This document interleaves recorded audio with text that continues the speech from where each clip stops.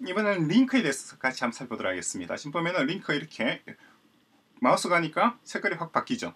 그리고 여기도 어, 미묘한 미세하지만은 빨간색이 색상이 좀 바뀌고 있습니다. 그죠? 그리고 여기는 밑줄이 없다가 탁 생기죠.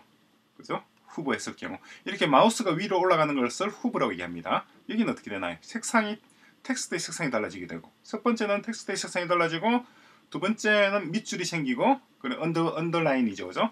세 번째는 박스의 색상이 달라지고 네 번째도 마찬가지 박스 색상이 달라지게 되죠, 그죠? 이렇게 여러 가지 CSS 효과를 줄 수가 있습니다. 그래서 어, 칼라죠. 칼라는 기본적인 색상, hot pink 색상을 주고 있는 경우입니다. 기본적으로 링크 있을 경우 이렇게 바뀐단 말이죠, 그죠? 트라이.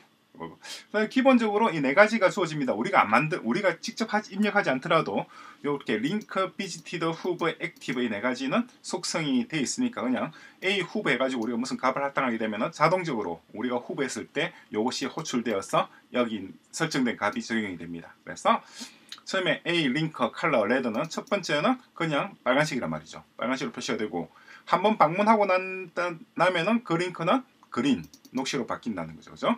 그리고 A 후보 마우스가 그 위에 올라가게 되면 hot pink가 되고 그죠? 그리고 active는 현재 활성화되어 있는 그러니까 selected 내가 선택하는 순간에 색상이 blue로 바뀐다는 겁니다. 한번 볼까요? 자 여기 있습니다. 첫 번째 이렇게 보면은 빨간색에서 약간 더 진한 빨간색으로 바뀌었죠. 차이가 별로 많이 안 나네요. 어떻게 할까요? 이것을 red를 음, hover와 active일 경우에 red 이것을 blue로 할게요. blue. 그러면은 hover 했을 때 blue로 바뀌었죠. 그죠? 근데 클릭하는 순간 active가 됩니다. 근데 지금 현재는 active도 blue로 돼 있잖아요.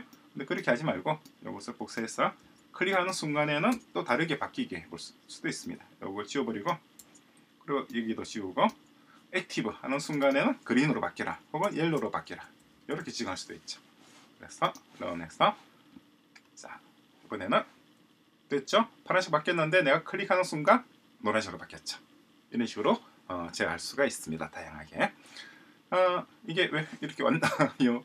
자, 그리고 예, 그리고 텍스트 데코레이션도 있습니다. 그 데코레이션 난 해버리게 되면 아무것도 없는 거죠. 밑줄이 없는 형태가 되고 한 번 방문했으면은 마찬가지로 none이고 그리고 hover 했을 경우 underline 생기는 거. 첫 번째 요거였죠, 그죠? 두 번째였네요. 두 번째 요게 어, hover 했을 때 underline 생기는 경우입니다. 그죠? 이렇게 효과를 줄 수가 있습니다. 다음에 이제 링크 버튼이죠. 링크 버튼이 조금 전에 봤던 요겁니다. 이런 식으로, 이런 식으로 되는 거, 그죠? 버튼 hover 했을 때 색상이 바뀌는 거, 이걸 나타냅니다.